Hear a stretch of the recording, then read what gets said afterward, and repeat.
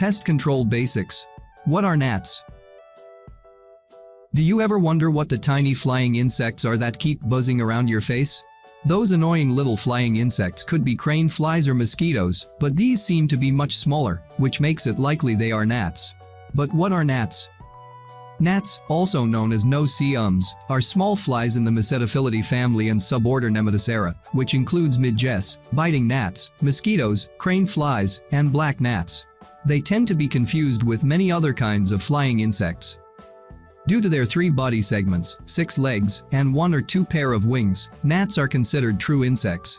Most gnat species have long legs as compared to the size of their body, and while they do have wings, most species of gnats are considered weak flyers.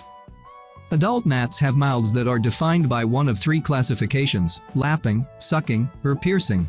There are some gnats, like biting midges and buffalo gnats that will bite and feed on blood, while others in the Sciaridae family feed on organic material. Types of gnats. Fungus gnats. Eye gnats. Sand flies. Buffalo gnats or black flies. Fruit flies. Phorid flies. Drain flies. Midges. What is the lifespan of a gnat? Gnats have a relatively short lifespan, living for no more than 4 weeks.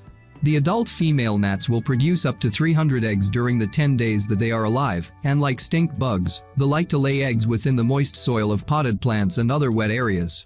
When the eggs hatch, the gnat larvae will feed on the decaying organic matter around them. 10 days later, the gnat larvae enter a pupal stage, in which they undergo a metamorphosis into flying adult gnats a week later.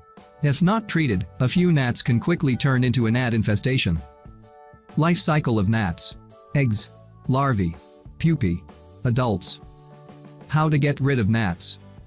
If you find that you have a gnat problem, there are several natural ways that you can get rid of gnats from your home.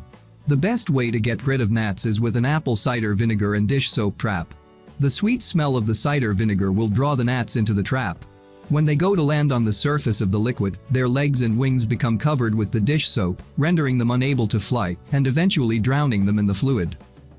Essential oils are also great for repelling gnats, and also what repels mosquitoes. If you are dealing with gnats in your home, add a few drops of essential oils to your home diffuser to keep gnats away. If you are outside and looking to repel the large mating swarms in your yard, add some essential oil to a carrier oil, like coconut or olive, and apply the homemade repellent to your skin. The tiny flying insects known as gnats are extremely annoying little creatures.